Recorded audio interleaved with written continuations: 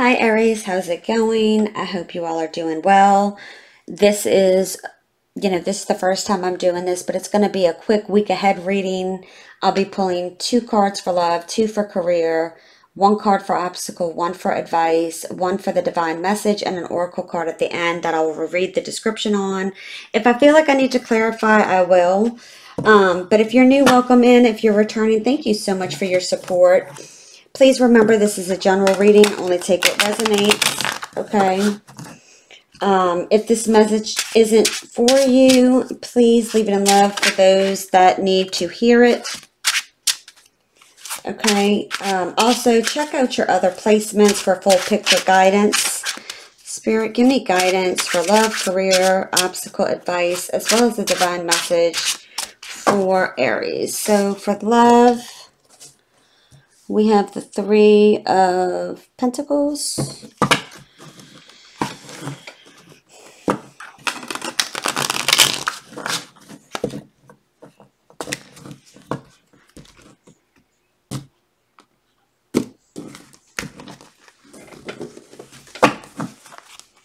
We have the Three of Pentacles and the Seven of Wands.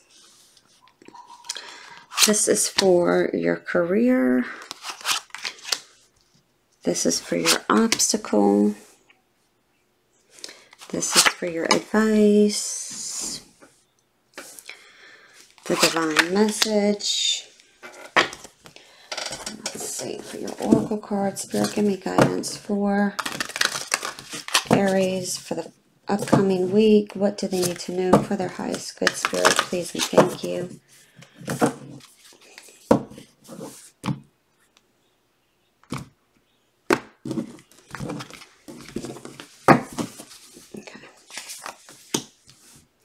All right. So for love, Three of Pentacles, Seven of Wands. Okay, so I'm going to say this. I want you to take, because there's some things for singles that might relate to people in a situation or something like that. So when this can just take whatever it is and apply it to how, what your situation is, okay? there is with the three of pentacles okay it's about you know the details and the quality of something okay? I feel like some of you and also if you're with someone you can reverse the roles. It's like there's an expectation that there has to be perfection. And i'm telling you perfection is an illusion because nothing is perfect. Okay? Nothing is perfect. So and the reasons we have these bumps and so forth in relationships is because we need to learn from them and we need to work together with them. So it's, you know, it's looking at the big picture and goals here of what it is you want to achieve, whether you're single or with someone.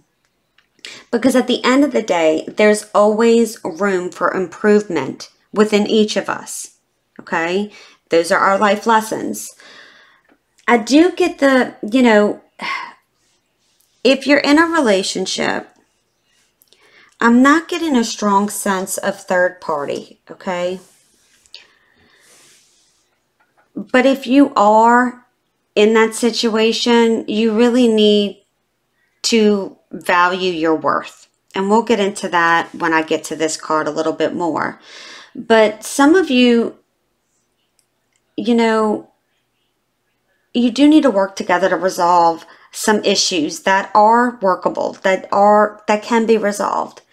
And some of you may need to have a conversation with someone like, okay, what is this? Right? It could be a friends with benefits, it could be and again, that's going to tie you into this 7 of wands in just a minute when I get there. And you know, if you are single, I'm going to give a sense that it, it, does give me some sense of manifesting here, but also you may be also throwing yourself in your work. Okay. And again, that could also be something that if you're in a relationship or situationship, maybe you feel like you're throwing yourself in your work or your partner is, take that as it resonates.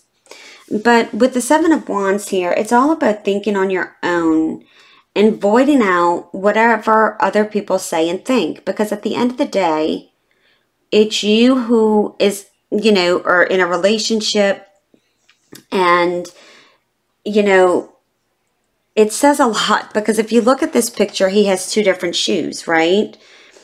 And which means that this, you know, things, you may be different or you may find someone or you have found someone who may be different than what the people around you, like your family and friends, expect, right?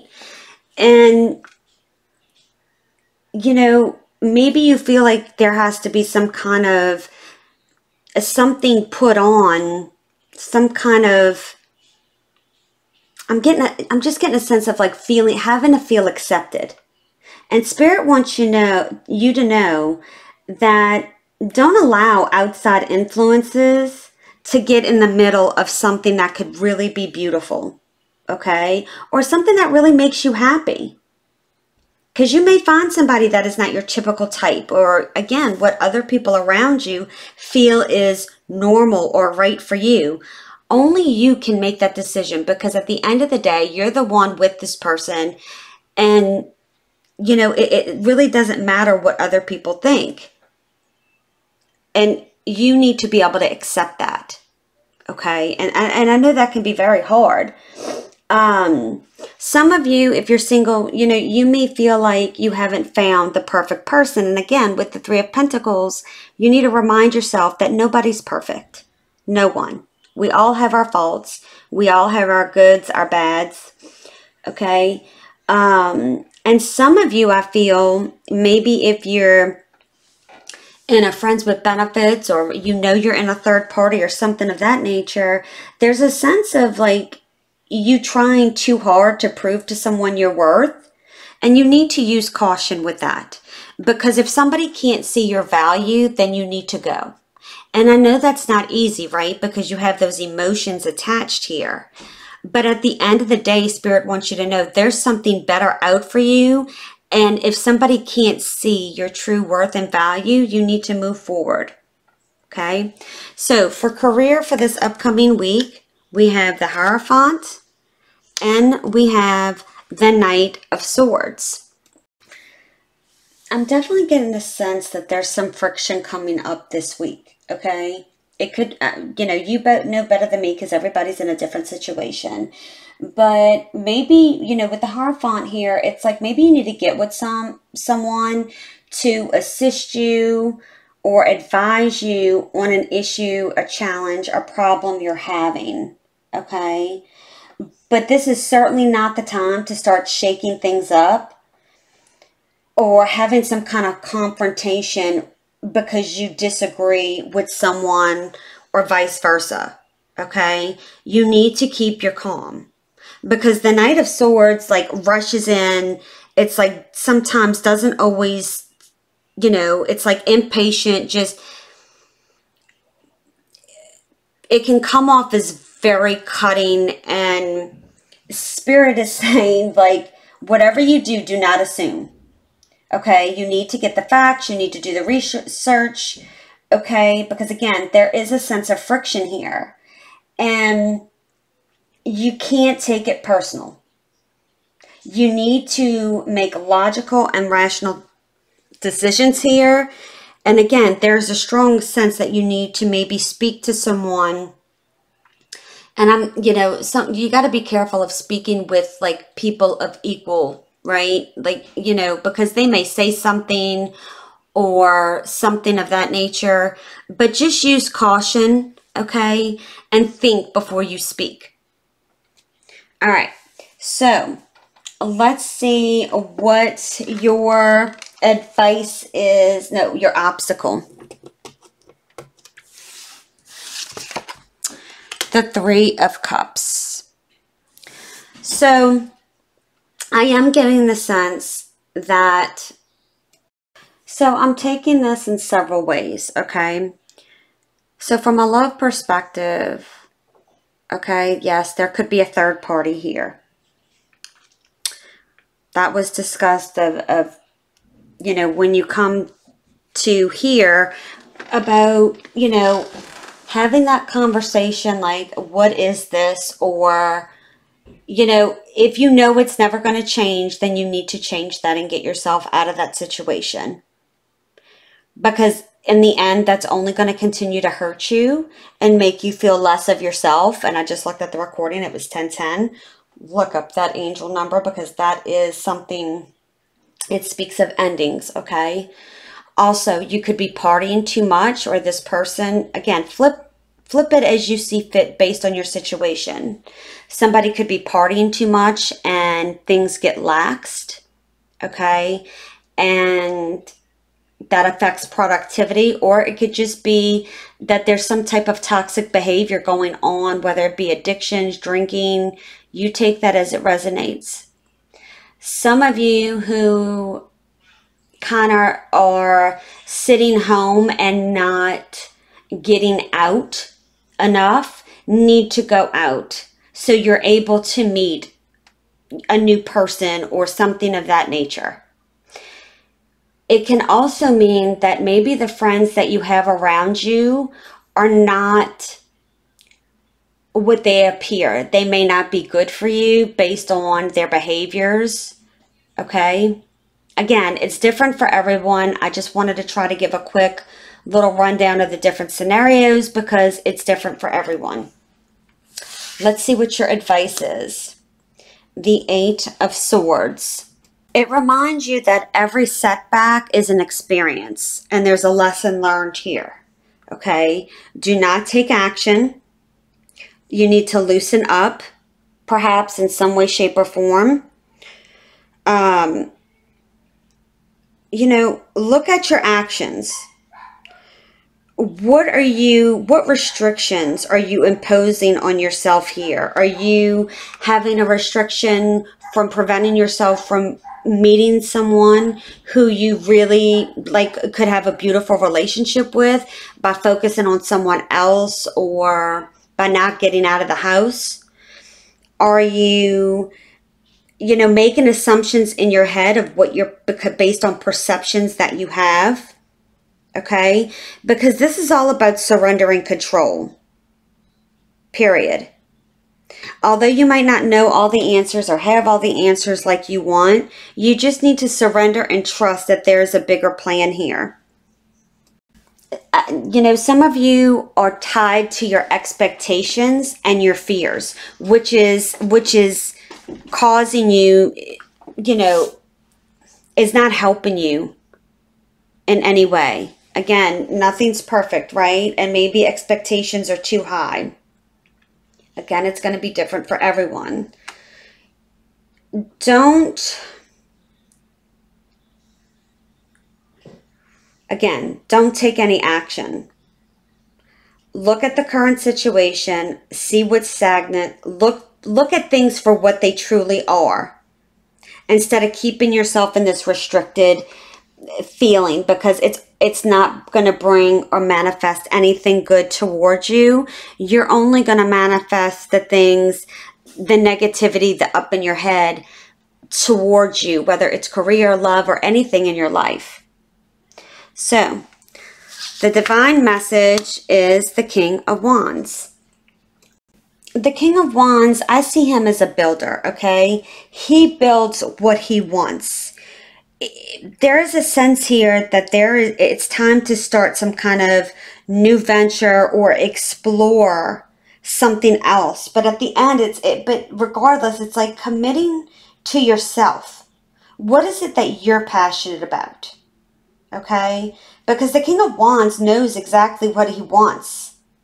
And he will hold on to that. He will cherish it. He does see it. You know it's like he's a visionary and yes, it requires daily work and it, it requires you to believe in yourself here. So start speaking to yourself in a positive way and give yourself positive aff- affirmations. You know, I am beautiful. I manifest my dreams. Whatever they that may be. And if you go look under my shorts, okay, every day I do post a daily power message per zodiac sign as a way to just uplift you, okay, for everyone. because I feel like we all need that in our daily life. We all need a boost sometimes, right? You know, some of you do need to spend some time outside. You need to ground yourself. You know, I am getting the sense that a lot of you, you know, the wands signify fire, right? The element of fire, which is you, Aries, right? It's like some of you have survived through hell, through the burning fire of, of, of all the issues that life throws at us, right? And because the King of Wands came up the hard way, that he there was nothing easy handed to him, whether you're male or female. So it's like taking the wisdom you've learned from all the things that you've been through in life and moving forward. So don't panic, don't assume, okay? You need to learn to trust yourself and the abilities you have. Okay? And the things that have helped you get through bad situations before. Because you do deserve respect, is what I'm getting. And the King of Wands doesn't demand people to respect him. He knows that needs to be earned. Okay? So, let's see what the Sacred Traveler has for you. And if you're liking this video, please like, subscribe, comment, tell me your story. I'd greatly appreciate it. It helps get these videos out into YouTube so I can continue posting these videos on YouTube. So thank you so much in advance. So you have Voyage of the Heart. Love flows through you and to you. You are beloved. You are deeply loved and profoundly lovable. You are a sacred vessel for love to flow through you. God the Creator is love, and in your essence, so are you. In matters of romantic love, all is healing or is already healed on the inner planes. Trust the messages from your heart and follow them, even if they are at odds with your mind. Angels and guides are communicating with you. Listen to their soft whispers. The sacred traveler wants you to know joyous love flows through you and to you. You deserve love. There is nothing you need to do to receive this vibrant energy. Tenderness and devotion are finding their way to you. The traveler walks with a light heart on the path, knowing that she is surrounded with love. It's truly a day for rejoicing. Your capacity for receiving and giving love is expanding. Let your heart lead you forward. Your mission on earth is to deepen your ability to impact and accept love, and that is happening right now. All right, Aries, I hope you have a beautiful day. Keep standing in your power, and I'll see you soon. Bye.